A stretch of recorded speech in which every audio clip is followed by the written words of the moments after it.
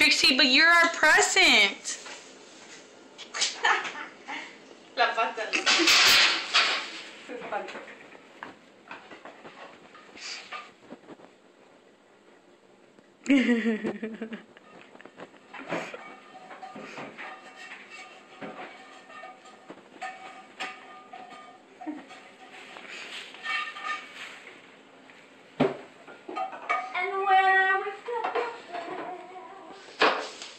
God.